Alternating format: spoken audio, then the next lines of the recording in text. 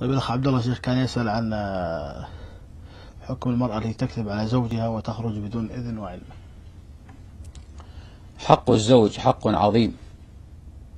فإن النبي صلى الله عليه وآله وسلم يقول كما في الحديث الصحيح لو كنت آمرا أحدا أن يسجد لأحد لأمرت الزوجة أن تسجد لزوجها.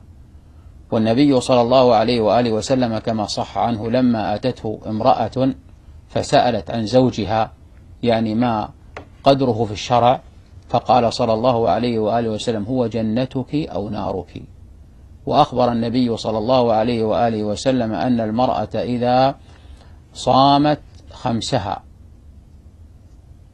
أنها إذا صلت خمسها وصامت فرضها وأطاعت زوجها فلتدخل الجنة من أي أبوابها تشاء.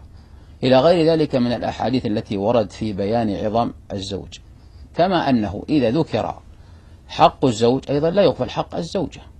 صحيح. ولهن مثل الذي عليهن بالمعروف وللرجال عليهن درجة. فكون المرأة لا تعطي زوجها حقوقه فإنها تكون آثمة. فلا يجوز لها أن تكذب عليه. من أجل إسقاط حق يجب عليها له. قضية أن المرأة تكذب على زوجها والزوج يكذب على زوجته من غير ما يكون هناك ضرر. جاءت به الشريعة مع أن بعض العلماء لا يرى ذلك وإنما يرى أنه متى ما كانت هناك مصلحة وكان فيها تورية. وإلا فالأصل فالأصل في إقامة البنية البيتية الأسرية الأصل أنها لا يمكن أن تقوم إلا بالصراحة. أما كون المرأة تخرج من غير إذن زوجها أو تكذب عليه فإن هذا لا يجوز لها. ثم ليعلم أنه ما من بيت إلا ويكون فيه مثل هذه التقلبات. فأحيانا قد تخطئ المرأة على الرجل وأحيانا يخطئ الرجل على المرأة. إذا يفترض أن من وقع عليه الخطأ أن ينظر في أفعاله. ربما أن الخطأ الواقع ليس جوابا لهذا الرجل لا وإنما لجميع المشاهدين. يعني ربما أن زوجتي لا توافقني في بعض الأشياء أو أنه تصدر منها بعض الأشياء التي لا تلائمني وأرى أنها أسقط حقوقا مني. يفرق أن أنظر لنفسي ربما قد تكون عندي أخطاء أو أنني مقصر في حقوقها.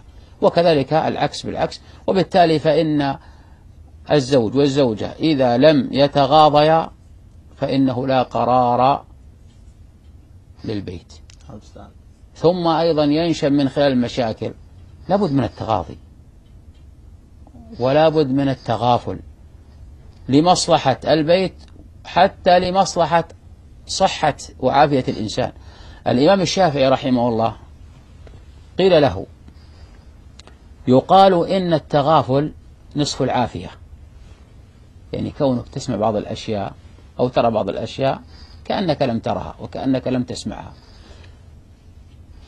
قيل له إن التغافل نصف العافية. قال التغافل هو العافية كلها لأن من دقق في كل شيء تعب. لكن على هذه المرأة المسؤول عنها يجب عليه أن تتقي يجب عليه أن تتقي الله عز وجل في حقوق زوجها.